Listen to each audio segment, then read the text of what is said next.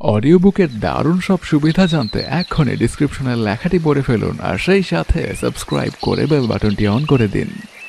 পল্লী সাহিত্য, মোহাম্মদ শহীদুল্লাহ। পল্লী গ্রামের শহরের মতো গায়ক, বাদক, নর্তক না থাকলেও তার অভাব নেই। চারদিকে কোকিল, দোয়েল, পাপিয়া, প্রভৃতি পাখির কলগান, নদীর কুলুকুলো ধ্বনি, পাতার মর্মর শব্দ, শ্যামল শস্যের ভঙ্গিময় হিলাদুলা প্রচুর পরিমাণে শহরের অভাব এখানে পূর্ণ করে দিচ্ছে।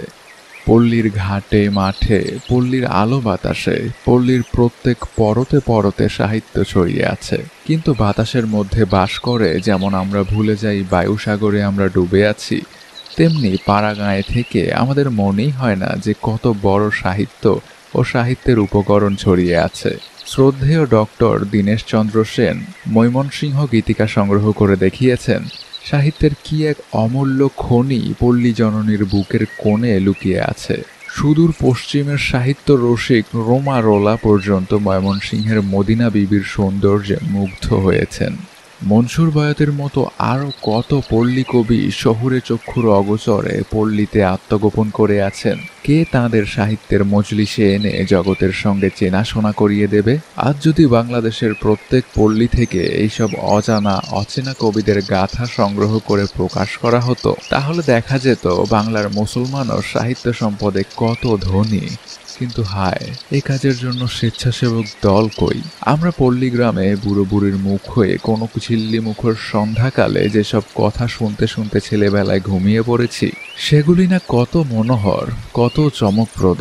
আরব্য উপন্যাসের আলাউদ্দিনের আশ্চর্য প্রদীপ, আলিবাবা ও চল্লিশ দস্যু প্রভৃতির চেয়ে পল্লীর উপকথাগুলোর মূল্য কম নয়। আধুনিক শিক্ষার কর্মনাশা স্রোতে সেগুলো বিস্তৃতির অতল গর্ভে তলিয়ে যাচ্ছে। এখনকার শিক্ষিত জননী সন্তানকে আর রাখালের পিঠা গাছের কথা, রাক্ষসপুরীর ঘুমন্ত রাজকন্যার কথা বা পঙ্খিরাজ ঘোড়ার কথা শোনান না। তাদের কাছে বলেন আরব্য উপন্যাসের গল্প কিংবা ল্যাম্পস টেলস ফ্রম শেক্সপিয়ার। ফলে কোনো সুদূর অতীতের সাক্ষী স্বরূপ এই রূপকথা নষ্ট হয়ে অতীতের সঙ্গে আমাদের সম্বন্ধ লোপ করে দিচ্ছে।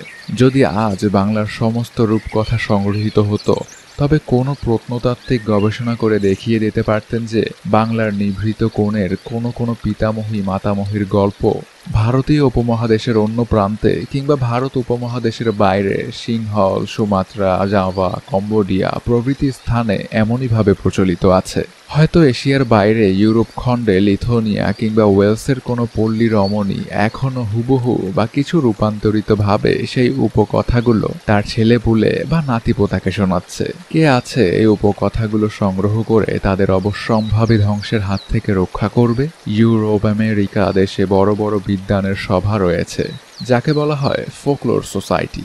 তাদের কাজ হচ্ছে এইসব সংগ্রহ করা এবং অন্য সভ্য দেশের উপকথার সঙ্গে সাদৃশ্য নিয়ে বিচার করা। এগুলো নৃতত্ত্বের মূল্যবান উপকরণ বলে পণ্ডিত সমাজে গৃহীত হয়। শ্রীযুক্ত দক্ষিণারঞ্জন মিত্র মজুমদারের ঠাকুরমার ঝুলি বা ঠাকুরদার থলে যথেষ্ট নয়। বাংলাদেশের সমস্ত উপকথা এক জায়গায় জড়ো করলে বিশ্বকোষের মতো কয়েক বালামে তার সংকুলান হতো না। আমরা শেক্সপিয়ারে পড়েছি, রাক্ষসদের বাধা বলি হচ্ছে ফাইফা fo fum O smell the blood of a British man. এর সঙ্গে তুলনা করে পল্লীর হাও মাও খাও, মানুষের গন্ধ পাও, এ সাদৃশ্য হলো কোথা থেকে? তবে কি একদিন ওই সাদা ইংরেজ ও এই কালো বাঙালির পূর্বপুরুষগণ ভাই ভাই রূপে একই তাঁবুর নিচে বাস করত? সে আজ কতদিনের কথা কে জানে? আমরা কথায় কথায় প্রবাদ বাক্য জুড়ে দেই, যেমন, দাঁত থাকতে দাঁতের মর্যাদায় নেই, ধরি মাছ নাছুই পানি, আপনি বাঁচলে বাপের নাম। এরকম আরও কত কি? তারপর ডাকের কথা আছে, খনার বচন আছে। যেমন ধরুন, কলা রুয়ে নাকে টোপাত, তাতেই কাপড়, তাতেই ভাত। প্রবাদ বাক্যে এবং ডাক ও খনার বচনে কত যুগের ভূয় দর্শনের পরিপক্ক ফল সঞ্চিত হয়ে আছে। কে তা অস্বীকার করতে পারে? শুধু তাই নয় জাতির পুরনো ইতিহাসের অনেক গোপন কথাও এর মধ্যে খুঁজে পাওয়া যায়। আমরা আজও বলি পীড়েই বসে পেরোর খবর। এই প্রবাদ বাক্যটি সেই সময়ের কথা মনে করিয়ে দেয়, যখন পান্ডুয়া বঙ্গের রাজধানী ছিল। কে এই প্রবাদ বাক্য, ডাক, খনার বচনগুলো সংগ্রহ করে তাদের চিরকাল জীবন্ত করে রাখবে? তারপর ধরুন, ছড়ার কথা। কথায় কথায় ছেলে মেয়েগুলো ছড়া কাটতে থাকে। রোদের সময় বৃষ্টি হচ্ছে অমনি তারা সমস্বরে ঝঙ্কার দিয়ে ওঠে। রোদ হচ্ছে, পানি হচ্ছে, খেঁক শিয়ালের বিয়ে হচ্ছে। এর সঙ্গে সঙ্গে মনে করুন মায়ের সেই ঘুম পাড়ানি গান, সেই খোকা খুকির ছড়া। এগুলি সরস প্রাণের জীবন্ত উৎস। কিন্তু আজ দুঃখে দৈন্যে প্রাণে সুখ নেই। ছড়াও ক্রমে লোকে ভুলে যাচ্ছে। কে এগুলোকে বইয়ের পাতায় অমর করে রাখবে? শুধু ছড়া কেন? খেলাধুলার না কত বাঁধা গত আছে বা ছিল আমাদের এদেশে যখন ফুটবল, ব্যাটবলের নাম কারও জানা ছিল না, তখন কপাটি খেলার খুব ধুম ছিল। সে খেলার সঙ্গে কত না বাঁধা বলেই ছেলেরা ব্যবহার করত। এক হাত বললা, বারো হাত সিং উড়ে যায় বললা, ধা তিং তিং বিদেশি খেলার প্রচলনের সঙ্গে সঙ্গে এসব লোপ পাবার উপক্রম হয়েছে। কে এদের বাঁচিয়ে রাখবে? তারপর ধরুন, পল্লী গানের কথা। পল্লী সাহিত্য সম্পদের মধ্যে এই গানগুলি অমূল্য রত্ন বিশেষ সেই জারি গান, সেই ভাটিয়ালি গান। সেই রাখালি গান, মারফতি গান। গানের এক অফুরন্ত ভাণ্ডার পল্লীর ঘাটে মাঠে ছড়ানো রয়েছে। তাতে কত প্রেম, কত আনন্দ, কত সৌন্দর্য, কত তত্ত্বজ্ঞান ওতপ্রোতভাবে জড়িয়ে আছে।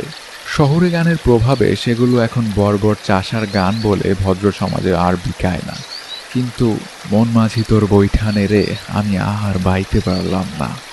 এই গানটির সঙ্গে আপনার শহুরে গানের কোনো তুলনা হতে পারে? কিন্তু ধারাবাহিক রূপে সেগুলো সংগ্রহের জন্য কোনো চেষ্টা করছে কি? এ পর্যন্ত যা বললাম, সেগুলো হচ্ছে পল্লীর প্রাচীন সম্পদ। সাহিত্যের ভাণ্ডারে দান করবার মতো পল্লীর নতুন সম্পদেরও অভাব নেই। আজকাল বাংলা সাহিত্য বলে যে সাহিত্য চলছে, তার পনেরো আনা হচ্ছে শহুরে সাহিত্য। সাধু ভাষায় বলতে গেলে নাগরিক সাহিত্য। সে সাহিত্যে আছে রাজরাজ্যার কথা, বাবু বিবির কথা, মোটর গাড়ির কথা, বিজলি বাতির কথা, সিনেমা থিয়েটারের কথা, চায়ের বাটিতে ফুঁ দেবার কথা। এইসব কথা নিয়ে গল্প, উপন্যাস, কবিতা, নাটক রাশি রাশি লেখা হচ্ছে। পল্লীর গৃহস্থ কৃষকদের, জেলে মাঝি, মুটে মজুরদের কোনো কথা তাতে ঠাঁই নাই। তাদের সুখ, দুঃখ পাপ পুণ্য আশা, আকাঙ্ক্ষার কথায় কজন মাথা ঘামাচ্ছে? আমাদের বিশ্ববরেণ্য কবি সম্রাটও একবার এবার ফিরাও মোড়ে বলে আবার পুরানো পথে নাগরিক সাহিত্য নিয়েই ব্যস্ত ছিলেন। ধান গাছে তক্তা হয় কিনা এখন শহুরে লোকেরা এটা জানলেও পাড়াগাঁয়ের জীবন তাদের কাছে এক অজানা রাজ্য। সেটা কারও কাছে একেবারে পচা, জঘন্য, আর কারও কাছে একেবারে চাঁদের জ্যোৎস্না দিয়ে ঘেরা। তারা পল্লীর মর্মকথা কি করে জানবেন? কি করেই বা তার মুখচ্ছবিখানি আঁকবেন? আমাদের আজ দরকার হচ্ছে শহুরে সাহিত্যের বালাখানার পাশে গেঁয়ো সাহিত্যের জোড়া বাংলা ঘর তুলতে। আজ অনেকের আত্মা ইট, পাথর ও লোহার কৃত্রিম বাঁধন থেকে মুক্ত হয়ে মাটির ঘরে মাটির মানুষ হয়ে থাকতে চাচ্ছে। তাদের জন্য আমাদের কিছু গড়া গাঁথার দরকার আছে। ইউরোপ, আমেরিকায় আজ এই প্রলেটেরিয়েট সাহিত্য ক্রমে আদরের আসন পাচ্ছে। আমাদের দেশেও পাবে। কিন্তু কোথায় সে পল্লীর কবি, ঔপন্যাসিক ও সাহিত্যিক? যারা নিখুঁতভাবে এই পল্লীর ছবি শহরের চশমাটা চোখের সামনে ধরতে পারবেন? এই সমস্ত রূপকথা, পল্লীগাথা, ছড়া প্রভৃতি দেশের আলো বাতাসের মতো সকলেরই সাধারণ সম্পত্তি। তাতে হিন্দু, মুসলমান কোনো ভেদ নেই। যেরূপ মাতৃস্তন্নে সন্তান মাতৃরই অধিকার, সেরূপ এই পল্লী সাহিত্যে পল্লী জননীর হিন্দু, মুসলমান সকলের সন্তানেরই সমান অধিকার। এক বিরাট পল্লী সাহিত্য বাংলায় ছিল। তার কঙ্কাল বিশেষ এখনও কিছু আছে। সময়ের ও রুচির পরিবর্তনে সে অনাদৃত হয়ে ধ্বংসের পথে দাঁড়িয়েছে। নেহাত সেকেলে পাড়াগাঁয়ের লোক ছাড়া সেগুলোর আর কেউ আদর করে না।